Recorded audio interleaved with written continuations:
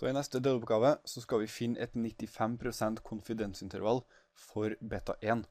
Og det er i stor grad bare bruk av en formel som ser noe sånn her ut. Hvis vi går under regresjonsmodellen igjen, så har vi en egen liten rute her for konfidensintervall for beta 1. Så vi kan gjøre det på følgende måte.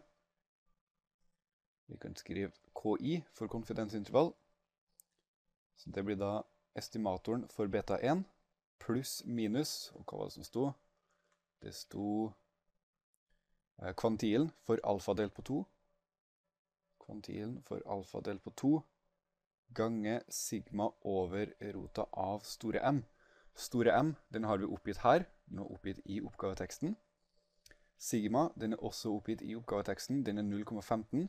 Så har vi kvantilen for alfa delt på 2. Og alfa i det tilfellet her er jo da det motsatte av 95% som er 5% som er 0,05 på desimalform.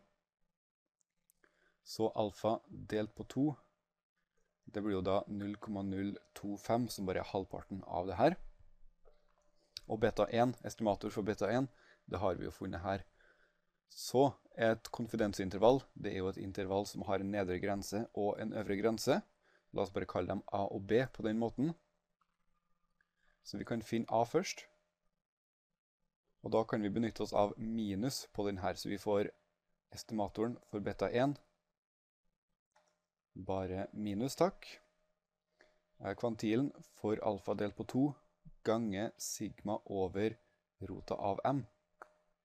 Og den øvre grensa blir da den samme estimatoren, men nå pluss kvantilen gange sigma over rota av m. Så hvis vi setter inn tall her, vi har estimatoren som er minus 0,0763. Minus 0,0763. Og så har vi minus kvantilen for 0,025. Og den finner vi jo også i det formelarket her. Her har vi 0,025, og kvantilen er da 1,96. Så 1,96 ganger sigma, som er 0,15.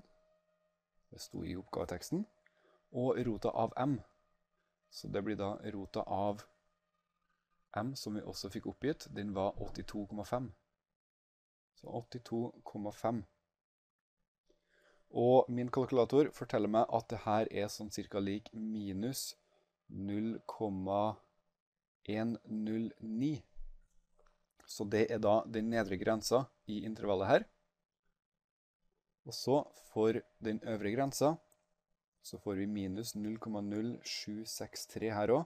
Men denne gangen blir det pluss 1,96 ganger 0,15 over rota av 82,5. Vilt repetisjon her.